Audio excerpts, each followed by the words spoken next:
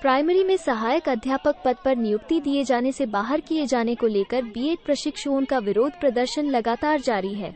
BEd डिग्रीधारी अभ्यर्थियों ने मंगलवार को प्रयागराज में महापंचायत बुलाई। बालसन चौराहे पर आयोजित महापंचायत में प्रयागराज और आसपास के जिलों से सैकड़ों बीएड डिग्रीधारी अभ्यर्थी शामिल हुए। जिसमें बीएड प्रशिक्षुओं ने हाथों में पोस्टर और बैनर लेकर नारेबाजी कर अपनी नाराज़गी का इजहार किया। बीएड प्रशिक्षुओं ने केंद्र की मोदी सरकार से मांग की है कि एनसीईटी का अध्यादेश लाकर सुप्रीम कोर्ट के आदेशों का पालन करते हुए फिर से उन्हें प्राइमरी शिक्षकों की नियुक्ति में शामिल करने के लिए कदम उठाए। बीएड प्रशिक्षुओं ने कहा है कि अगर उनकी यह मांग पूरी नहीं होती है तो उग्र आंदोलन करेंगे।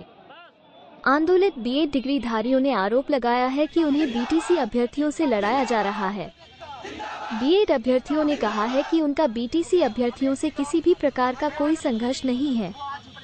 प्रदर्शन कर रहे बीएड कर चुके छात्रों ने रोज़गार के लिए पारदर्शी नीति के तहत रिक्त पदों को भरे जाने की मांग की है। इसके साथ ही प्राथमिक शिक्षक भर्ती में बीएड को भी शामिल करने की मांग की है।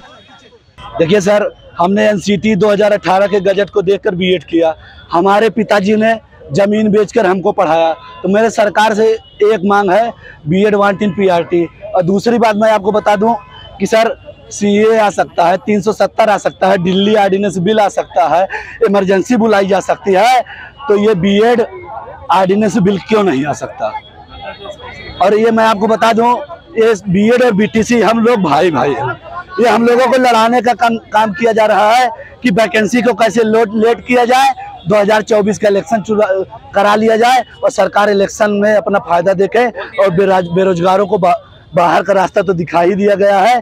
अमित शाह मोदी जी। बेरोजगारी खत्म करने के कोई प्रयास नहीं किए जा रहे सरकारों के कोई प्रकार पाँच साल में भैया वैकेंसी आती है चुनाव दर चुनाव आती है और सीट क्या कहते हैं टेट और यूपी टेट सी टेट साल में दो बार होता है। इस साल तो सी टेट साल में दो बार हुआ। इसके पहले तीन बार से एक बार एक बार क्योंकि अभी यूपी टेट साल में एक बार करा रहे हो ताकि दो बार आप कहे हो। ये कैसी ये कैसी ये कैसी बदतमीजी चल रही है सरकार की? किस तरह की पारदर्शी व्यवस्था चाहते हैं युवाओं के लिए? हम चाहते हैं कि जो वैकेंसी आ रही है पहली बात तो उसमें बीएड को प्राथमिक भर्ती में शामिल किया जाए। और ये जो डिसीज़न सुप्रीम कोर्ट का है इसका हम पालन करते हैं। परंतु मैं आपको बता दूँ जो लोग कह रहे हैं कि सुप्रीम कोर्ट का फैसला बदलता नहीं है तो सुप्रीम कोर्ट ने एक बार फैसला दिया था केशवानंद भारती केस में कि केशवानंद भारती केस में कहा कि preamble is the part of constitution फिर बाद में पलट के कहा कि preamble is not a part of constitution तो मैं बताना चाहता हूँ कि फैसला बदला जा सकता है। दिल और लोकसभा के मेंबर राज्यसभा के मेंबर बिल भी ला सकते हैं। उस प्रकार से बदला जा सकता है। और क्या कहते हैं देखिए देश में बेरोजगारी बढ़ती जा रही है। ये सीधे सीधे बीजेपी गवर्नमेंट की चाल है कि किस प्रकार युवाओं को भाई भाई को बीएड बीटीसी को लड़ाया जाए। ये अमित शाह और मोदी जी के दबाव में सुप्रीम कोर्ट का फैसला है जिस प्रकार राहुल गांधी की सदस्यता रद्द की दी गई थी। फिर बाद में उनको अंदर किया गया। उसी प्रकार बीएड और बीटीसी को क्या कहते हैं बाहर का रास्ता बीएड वालों को दिखाया गया।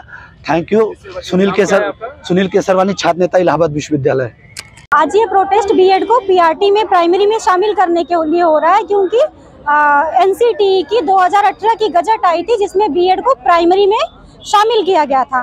और उसके बाद से कम से कम एक करोड़ डेढ़ करोड़ लड़कों लड़कियों ने बीएड किया। हम लोग गवर्नमेंट कॉलेज से किए। हम श्रद्धांजलि सिंह नाम है मेरा मैंने आगरा यूनिवर्सिटी से गवर्नमेंट कॉलेज से बीएड किया। 2019-21 सेशन में और अचानक से दो साल से B Ed B Ed versus B case चल रही थी और अचानक से बी एड जो है पीआरटी से बाहर हो जाता है। ये सुन के सभी लोग परेशान है बी करने वाले कि हम लोग कहाँ जाएँगे?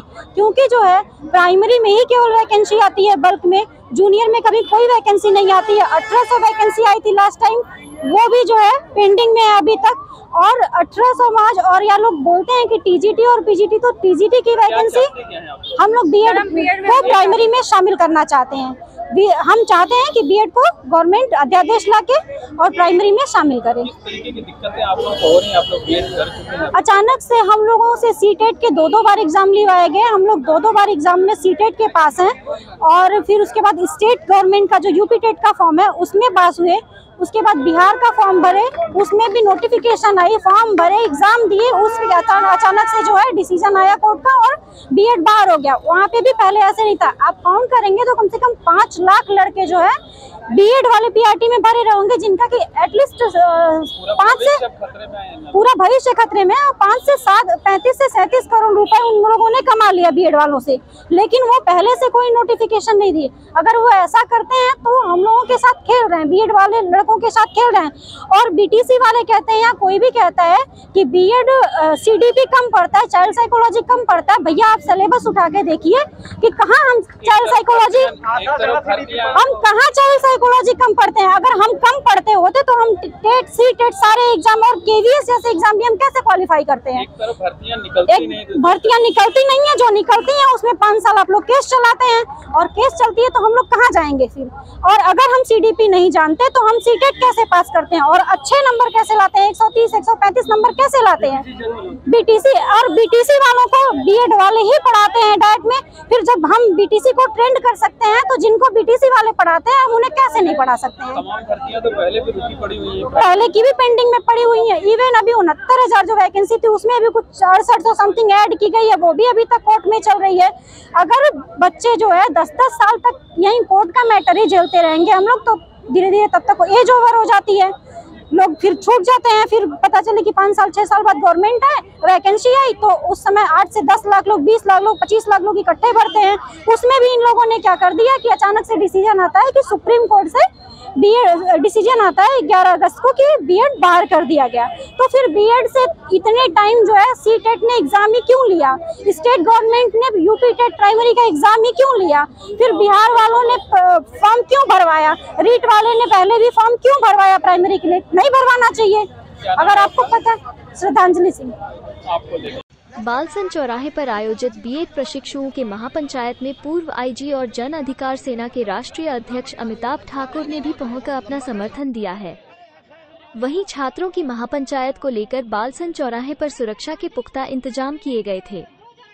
छात्रों की महापंचायत होने के बाद पुलिस ने बालसन चौराहे पर स्थित पार्क को खाली करा दिया।